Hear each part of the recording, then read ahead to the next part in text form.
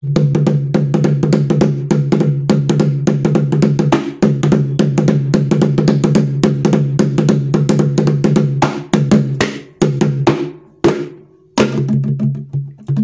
friends.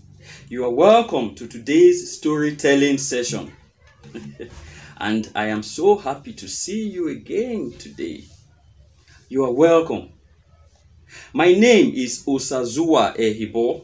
Special thanks to Acitage South Africa for making this storytelling session possible.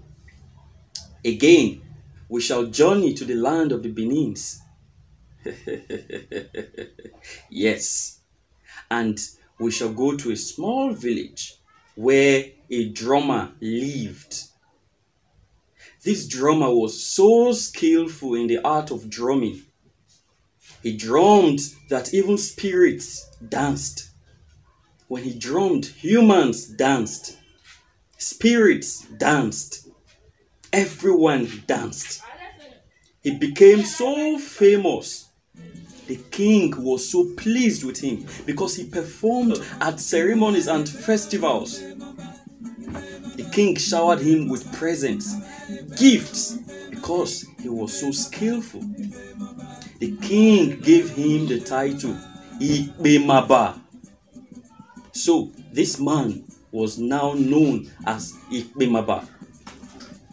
Ikpemaba was so good with the drums, so wonderful that when he drummed,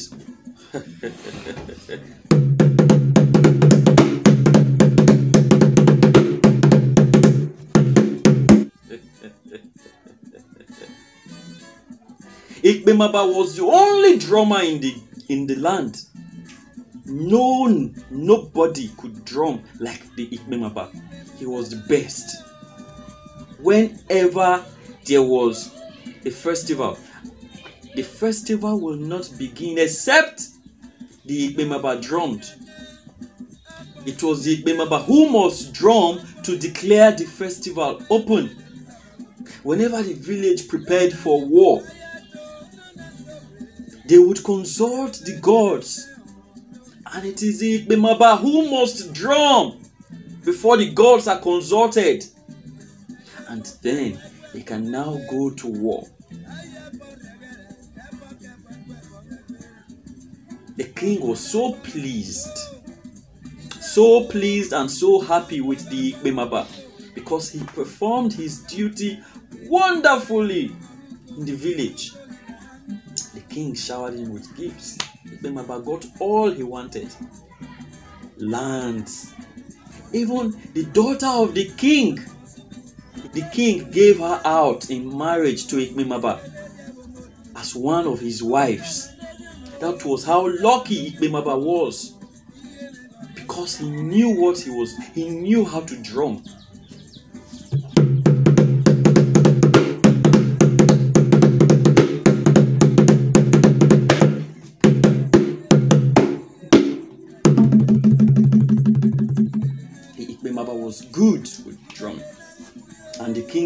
Rewarded him handsomely. But then there was this particular title that the Ikpemaba wanted, and that was the title of Aigwabahi. He needed this title so much that when he approached the king, who happened to be his in law, the king refused to grant him that request of giving him the title.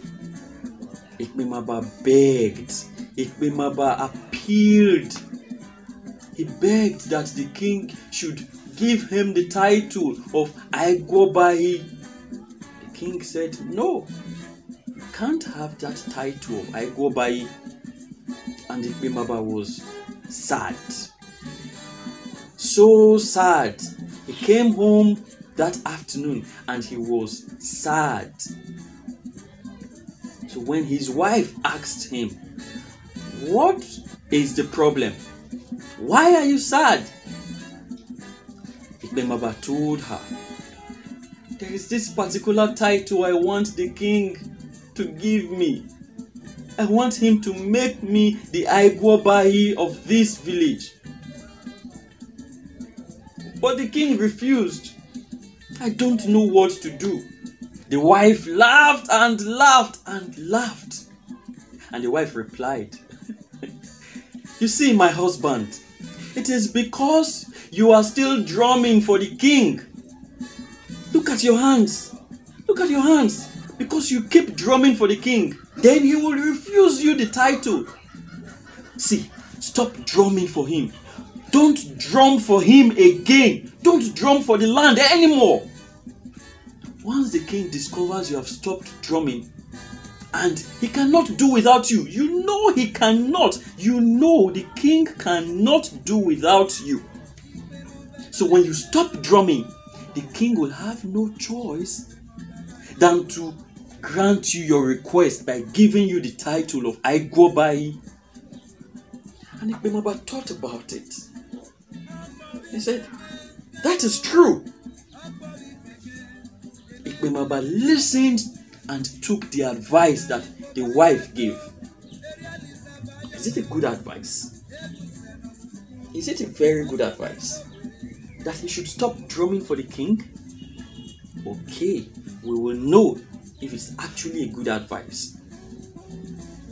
Ikpemaba stopped drumming because he listened to his wife. At that period, that time, there was this festival, this very important festival that the village was preparing for. This festival was so important that the Ikpemaba needed to drum. On the day the festival was to begin, everybody was in the king's palace. Everyone, the chiefs, the king, everybody in the village was in the palace. But Ikpemaba was not there. He didn't go to the palace.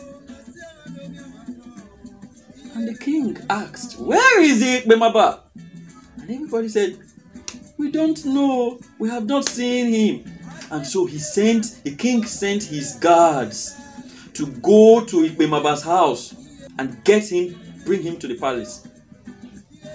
When the guards got to the house of Ikpemaba, they met Ikpemaba outside and they told him, Ikpemaba, the king wants to see you. Today is supposed to be the beginning of the festival and you are not in the palace. Why? And Ikpemaba said, Go and meet your king. I am no longer drumming for this village. I will not drum for the king anymore. And he took a machete and pursued and chased the guards away with a machete. He said, Go and tell your king until he grants my request, I will not drum.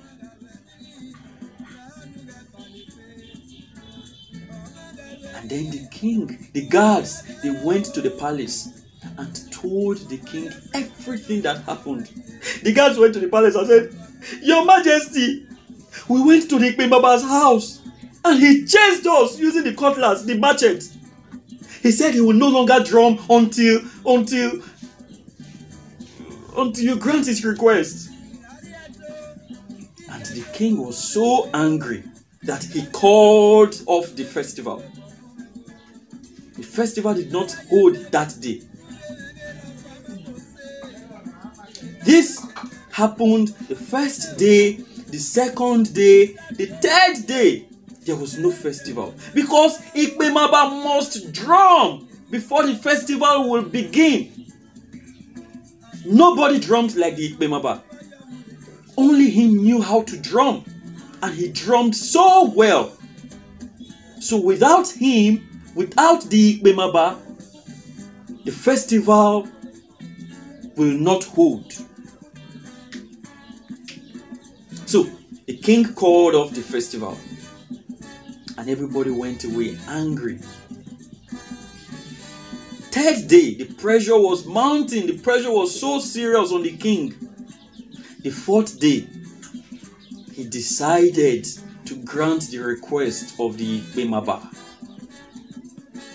One afternoon, he summoned the Ikpemaba. And the Ikpemaba came to the palace. And he asked the Ikpemaba, Why do you choose to do this to me? And why do you choose this day when the festival is to begin? When you know that you are very important and that the festival cannot hold without you? And the Ikpemaba said, Your Majesty, I have been begging for this title. Please grant me my request and I will start drumming again. And the king asked him, So you will not drum unless you have the title of the Agwobayi? And the Ikpemaba said, Yes, your majesty. I want the title of Agwobayi. Give it to me and I will be happy again. The king said, Fine. You will have the title of Aigobahi by sunset tomorrow. And Ikpemaba was very happy because tomorrow at sunset he will become the Aigwabahi. he was very happy. He thanked the king and he left.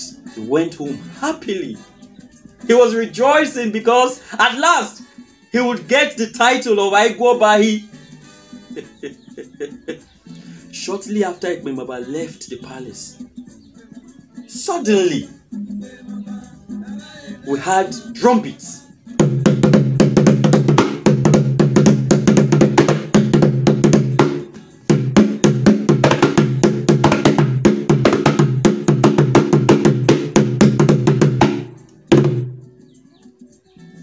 And the king heard this drum. He was surprised. Who could drum like this?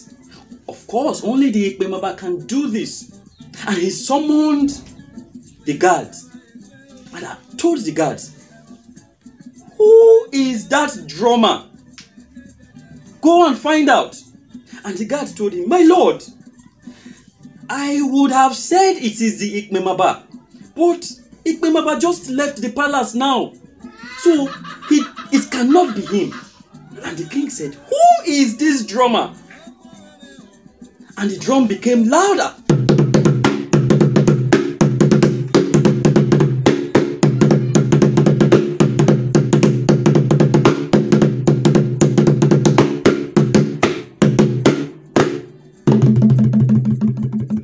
And then the drummer came to the palace of the king.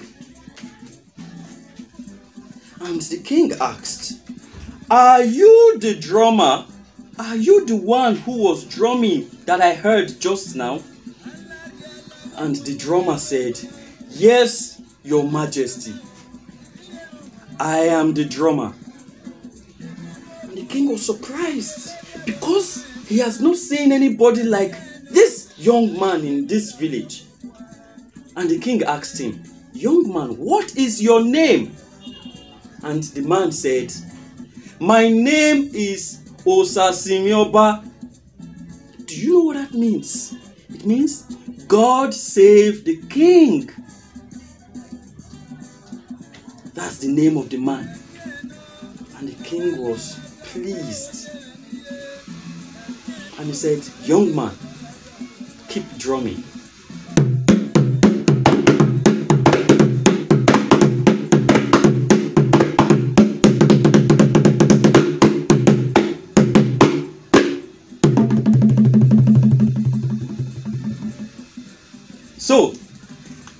Village had another drummer and a better drummer. Wow, God actually saved the king. It was the next day. Ikpemaba was happy. Ikpemaba was so happy. At sunset, he will become the Aigwobai. And suddenly, the Ikpemaba was hearing drumbeats.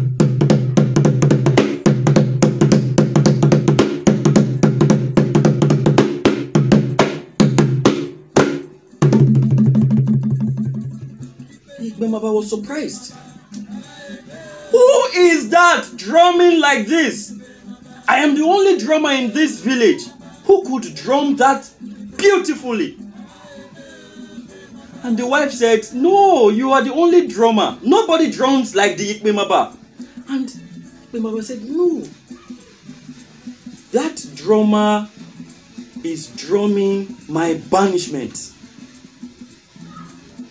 My wife. Do you know what that means? It means I will no longer be in this village. I will be banished because whoever drums that beautifully has just taken what belongs to me. And Ikpemaba was sad, very sad. Sunset came. Ikpemaba was not given the title of Aigobai because the village has found another trauma. and quickly the king summoned everybody in the village to come to the palace that the festival must begin immediately because there is a drummer. Everybody came to the palace. Everybody in the village because the festival was to begin immediately. Even Ikpemaba was in the palace too, but this time he was now in chains. His hands were tied to his back. Ikpemaba started singing. Adegimariwo Adegimariwe o Adegimariwo Adegimariwedume Adegimariwu tigakpomo isa nogeme agbon. Isuse bamiro Isuse bamomo Isuse bamokuo Adegimariwedume The king addressed Ikpemaba. Ikpemaba.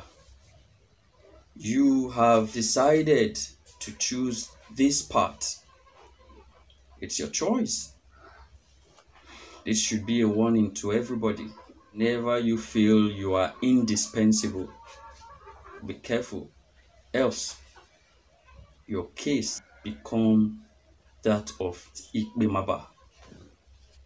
This festival is starting today because Ikpemaba refused to play his role Ikpemaba held us to ransom, and so he pays the price. Now, my judgment. I hereby banish you from this village. You cease to be the Ikpemaba. This young man is our new Ikpemaba. He came from another village. His name is Osa Simioba. God save the king. And everybody was happy they clapped, they shouted, they cheered. And so the king ordered the guards to take him away. As the guards were taking him out of the palace, Ogodo mai mioko yagwa, eta ogodo yeme. Ogodo mami ó kọ yàgùà o ẹ ta ògòdó ee iṣẹ́ èrùpò ìbà ìrìnà ee ibùpọ̀nù òrò ọgbà mi gbé owó ẹ̀rìta o ogodo. Ogodo máì mi ó kọ yàgùà o ẹ ta ee. God's took him away. My friends, don't be like the Ikpemaba. It is not good. My friends, that is the end of my story. I hope you enjoyed it and we'll meet again some other time.